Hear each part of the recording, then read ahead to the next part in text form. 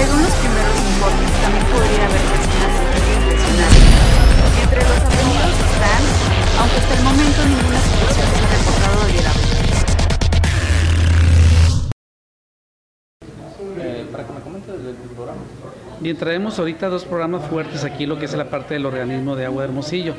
Eh, el primero de ellos es el censo que estamos haciendo en todo lo que es la parte urbana del municipio de Hermosillo el cual consiste eh, eh, en ir físicamente a, los domicilios y se toman fotografías del medidor, de las condiciones que se encuentra, se recaba información acerca del número de servicio, del diámetro de la toma, esto con la finalidad de mantener actualizado nuestro padrón de clientes en agua de Hermosillo.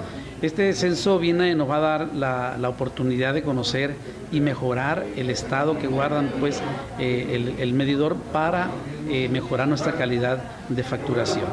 Eh, indudablemente que también esto viene aparejado al otro proyecto que es la instalación de 100.000 medidores, de los cuales traemos alrededor de 64.000 servicios directos, traemos 9.300 que están dañados y traemos alrededor de 32.000 servicios que físicamente no existen en domicilio. En este cambio de medidor también la idea, el objetivo es mejorar la calidad de la facturación y lo que le estamos pidiendo a la ciudadanía es que cuando nuestra personal se presente a hacer ese cambio de medidor, exija la orden de servicio y la identificación para que sea esto oficialmente el cambio por parte del organismo.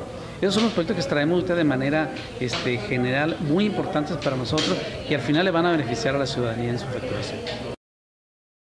Eh, estamos ahorita ya a partir de junio iniciamos el proyecto de instalar medidores, los micromedidores principalmente ahorita.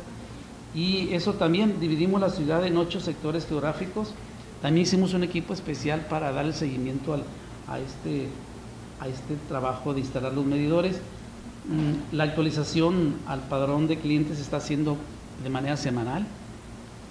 Y hasta el día del 26 de julio hemos instalado ahorita en esta primera etapa 12 mil se, se adquirieron 15 mil y ya se han instalado al día 26 de julio 7.620 medidores en lo que va de la ciudad.